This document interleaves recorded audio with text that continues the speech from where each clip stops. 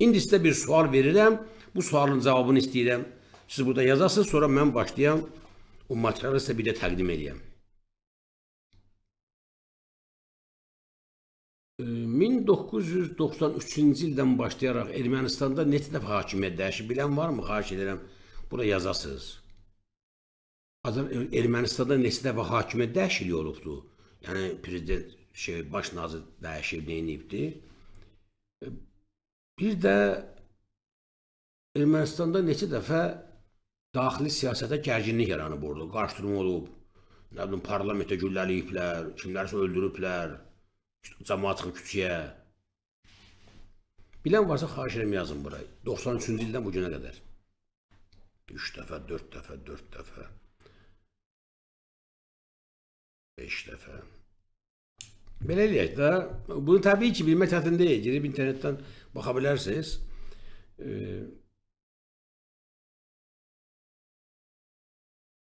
Belə də 3 4 5 deyirlər. Belə deyək ki, ən azı 4 dəfə.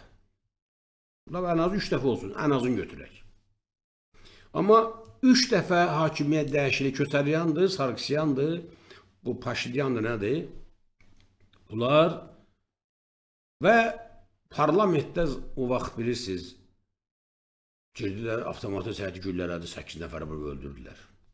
Düzdürmü? 4 e, burada ya da 4 nəfər, 4 dəfə dəyişibdi. Ülvər Əkbərov yazdı ki, 6 iqtidar dəyişilib, 5 ixtişaş. Bəli. Nəsə, nə deməkdir? Diqqətən qulaq asın. Sualım belədir. Nəyə görə Ermənistanda sizcə fikirləşin xahiş edirəm, ailəvi olaraq öyle düşünün yazın cavabı. Nəyə görə Ermənistanda hakimiyyət dəyişikliyi, ixtişaşlar, toqquşmalar, daxili gərginlik olanda Azərbaycan dövləti, yəni Heydərizm 493-cü ildə bu günə e, proses yeni gedir. Bir dəfə də olsun hücum eləməyibdi öz torpağını azad eləməyə. Baxına Qarabağda. Sual əslən vətənlər, cavabını düz tapsaq, bizim üçün çox qapılar açacaq. Diqqətlə qulaq asın. 4-5 dəfə, ən azı 8-9 dəfə şeydə Ermənistanda e, hakimiyyət boşluğu yaranıb, zəiflik yaranıb, daxilə diqqət yönəldiblər. Və biz bir dəfə də olsun hücum etməmişik. Amma Azərbaycanda hər dəfə hakimiyyət dəyişikliyi reallaşanda, xalq hər dəfə fəallaşanda ermənilər hücum edib. Niyə? Nə ilə bağlıdır? Xatırlayın, Şuşa, Azərbaycanda gərginlik var. Xozaldan sonra mart ayında gedibdi şey, Ayaz Mütəllibov, ölkədə qanun sakitlik hər şey, prezident seçkiləri təyin olunur, birdən-birə Ayaz Mütəllibov yenidən qayıtmaq qərarı verir, bunu da ermənilərlə bir yerdə eləyir, bu binamız Şuşa gedir əldən. 14-15 mayda xalq axır ayağa Ayazı qovur ki, qanun, qanunsuz olaraq cəmi olmaz, seçki təyin olunur artıq. Gəlir Afət Elçibəy hakimiyyətə. Azərbaycan sakitliyi 10-11 ay. 93-cü ilin aprel ayından 92 axırından artıq indi aydın olur ki, Suriyyət Sörün başlığı altında dövlət çevrilişini ayazı təzdən qaytarmağa cəhd var. Bu yandan Heydər Əliyev gəlmək istəyir. Yenə də ermənilərin əli ilə hücum 93-cü ilin aprel ayında ikisində Kəbəcər gedir. Hakimiyyət nüfuzdan düşür, Ölkədə qarıb-qarışıqlıq. 4 iyun dövlət çevrilişi. Erməni yenə hücum edir güya və 6 rayon getdi. Hər dəfə Azərbaycanda hakimiyyətə təhlükə olur ki, ermənilər hücum edir. Niyə? Xahiş edirəm mənə cavab verin. Niyə biz hücum eləmirik? Bizim üçün normal rahat şərait yarananda, amma ermənilər hücum edir. Niyə?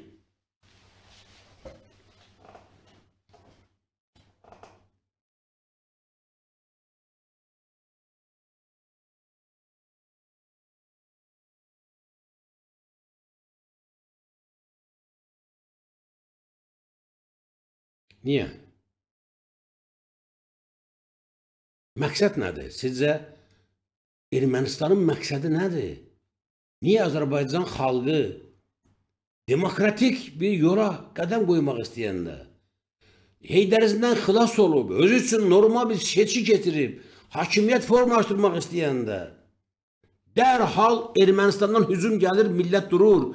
Milləti məcbur eləyirlər ki, gecə saat 1-də, 2-də, 4-də, ayın 14-də çıx küçəyə mələ oradan ki, Qarabağ, Qarabağ, Qarabağ. Hətta 43 nəfər də gör partiya sədri qol çəksin ki, biz sənin nökərini və sənin əskərini niyə eləməliyik? Niyə? Bu niyə sualına cavab verilməlidir? Niyə biz Azərbaycan dövləti torpağımız işğal olarla, baxın ey, bizim daha çox haqqımız və ehtiyacımız var ki, biz hücum eləyək. İstənilən münbir şərait yaradan, yaranan kimi. Əksinə, bizə deyirlər ki, zəlzələ var, yox, şirkət deyilin danışdır, orada təbii fəlakət var, hücum eləmiyorlar. Ayıbdır bu. Bax ey, ha kişilər, ha millət. Səni belə tərbiyə ki, sən ayıbdır, sən bunu qanmalısan, kişisən, sən orada zəlzələ var, hücum. Burada düşmədim. Zəlzələ var, hücum elə torpağa var, nələr ki? Hücum elə, sənə gələn təhlükəni məhv elə. Zəlzələ özü bilər. Allah sənə kömək edir də, niyə eləmirsən? Səni xalq olaraq belə hazırlayırlar. Ona isə başa salırlar ki, o xalq erməni xalqı. Bunu başa düşün bilin. Bunun səbəbini sən bilməlisən millət olaraq. Nəyə görə Azərbaycan xalqı var bu günləri 2016-15 2015 deyirlər 2018 2016-2018 kimi hər iki ildən bir Azərbaycanda siyasi vəziyyət gərginləşir. Biz xalq istəyirik qaldıraq ayağa, erməni hücum edir. Niyə? Acaba niyə indi? Bu sual elə belə vermir. Demək ki, o dünən verdim sənə, sırağa gün verdim sənə, vecuva döy, otu belə xəşəllərinə baxırsınız. Qardaş bacılarım, başa düşün, düşünməsə, baş işləməsə, bizim başımızı ayaqların altına qoyacaqlar. Bizim vəziyyətimiz çox təhlükəlidir. Bizi elə bir tələyə salıblar ki, iki tərəfdən də vururlar. Başa düşün. İlham Əliyev görür ki, ona hücum var. Onu xalq devirəcək, it kimi tapdalayacaq, it balası kimi. Buradan erməni hücum eləyir. Niyə? Sizdən soruşuram. Ermənistanda dörtlük hakimiyyət dəyişib. Biri gedir, biri gəlir, birini həbs edirlər. Keçmiş prezident həbs olunur. Ha kişilər.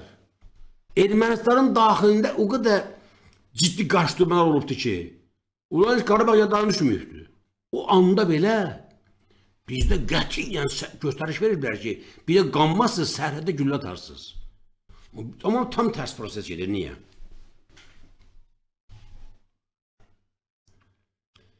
Demokratik erməni, yox, səhv edirsiniz. Demokrat erməni lazımdır, siz nə danışırsınız? Siz nə danışırsınız? Necə demokrat erməni lazımdır? Ləzəmədənlər. Bu sualın bir cavabı var.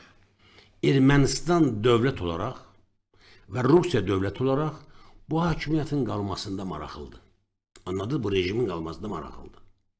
Bu rejimin dəyişməsini Ermənistan və Rusiya istəmir.